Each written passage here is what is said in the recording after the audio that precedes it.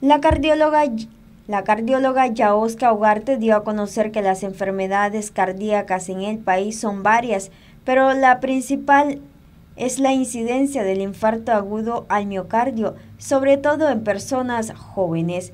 Ugarte. Jóvenes de 40 años que están acudiendo a, nuestras emergencias con signos y se diagnostica el infarto. O sea que es alta la población, es alto el número en la población que están padeciendo y esto te deja secuelas.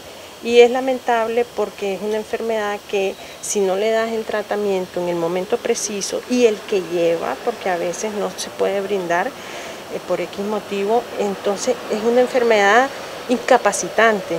Y en un paciente que es socialmente activo, y productivo, entonces esto le crea situaciones incómodas porque te va a disminuir tu capacidad funcional y tu capacidad de volver a trabajar. Según el daño, la magnitud del infarto y de la arteria ocluida, eh, de la rapidez con la que se instauró el tratamiento y la efectividad del tratamiento, van a ser las secuelas. Si esto falla y el paciente sobrevive, entonces lo que aparece es una insuficiencia cardíaca por disfunción del ventrículo. El corazón pierde la función de bomba, pierde esa función de impulsar y distribuir la sangre y entonces el paciente desarrolla una miocardiopatía dilatada, insuficiencia cardíaca, arritmias cardíacas, sobre todo las taquicardias ventricular además de las secuelas psicológicas, porque el paciente se pone un poco depresivo, ansioso. Ugarte dio a conocer cómo cuidarse para evitar un infarto. Evitar el sedentarismo, salir al menos 30 minutos, una caminata ligera de lunes a viernes. El plan de ejercicio se traza de manera individual con cada paciente.